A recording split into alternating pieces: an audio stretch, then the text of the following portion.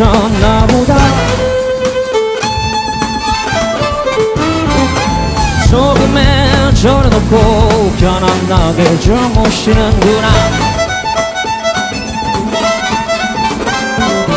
나는 내일 아침에는 고등어 구이 먹을